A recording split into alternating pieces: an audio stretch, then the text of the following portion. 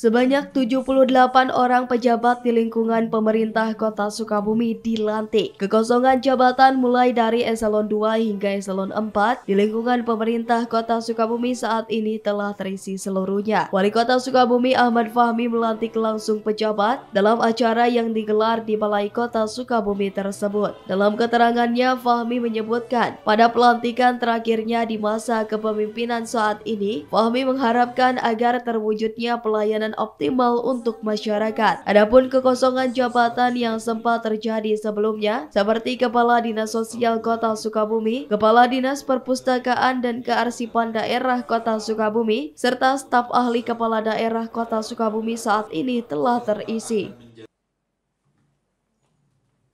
Ya pesannya sama, dalam setiap pelantikan saya selalu menitipkan bagaimana pejabat harus mampu menjaga integritas, harus mampu menjaga marwah dan amanah yang diberikan, termasuk juga semakin profesional dan melayani masyarakat setulus hati.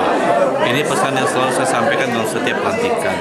Dan Alhamdulillah hari ini tidak ada satupun kekosongan dalam jabatan yang ada di wilayah pemerintah daerah Kota Sukabumi. Semuanya sudah terisi dan ini sudah mendapatkan izin dari KSN sehingga betul-betul semuanya sudah sesuai dengan regulasi. Betul. Ada satu yang masih belum selesai yaitu direktur eh, apa PDAM ini masih berproses. Nanti kita lihat memungkinkan atau tidak, terkejar atau tidak pelantikannya di masa saya dan wakil. Dari kota Sukabumi, Sofwan Jopikar melaporkan.